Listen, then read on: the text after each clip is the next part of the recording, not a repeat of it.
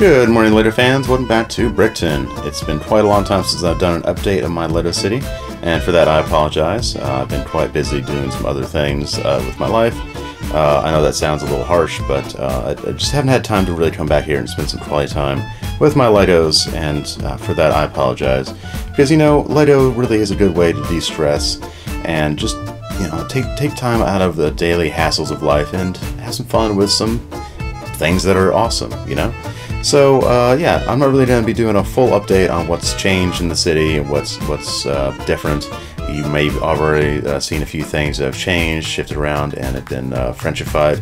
Um, but yeah, the big things, most of all, uh, the Knights of the Cosmos are trying to induct a new member into their ranks. Hopefully, it goes out well with him. The medieval blacksmith is now in the Legoland as sort of a Renaissance fair esque demonstration thing and the winter train station, which has been de-winterized, is now uh, caddy corner to the train tracks. So that's uh, that's basically the main changes of the uh, of the city. Uh, a few of the other surprises I will share later on. Uh, but the big thing that I wanted to share with you in this video is uh, my really, really, really, really, really long train. See, it keeps going. There we go. Uh, this is actually two passenger trains put together, Lego passenger trains. Uh, the set number will be up on the screen. Oh, actually, it's right there. Of course, stickers are always your friend in Lego. They always point to the number of the set. So, when in doubt, go there. So this is 60197, or rather, two of those. So yeah, this is kind of like a gift of the Magi thing.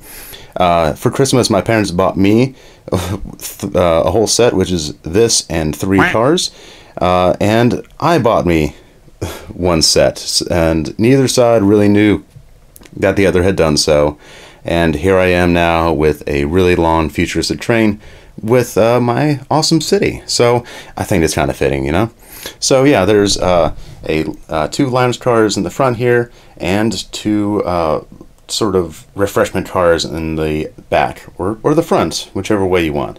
But yeah, so one thing I wanted to point out is the fact that both of these have engines in the front, or rather in these cars here, and both can actually run on the same controller. So I haven't really seen any tutorials on how to do that, and um, I thought I'd share with you now.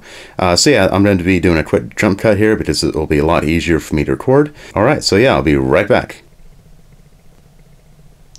Alright, the reason why there's a little bit of a trick to this is the fact that you have to link both of these cars to the same controller. And to do that, you really need to have like either two arms or three arms or whatever. So uh, I'm going to be doing this on camera. Here we go. So after you hit uh, the first buttons for a good solid three seconds, you see I have a little flashing white light there. They should all pair up to green. Okay, so that one cab did not, so I will just link him up again. There we go, now he's green. So there we go, uh, really just a simple trick to doing that. And uh, let's see this thing go around the track a few times.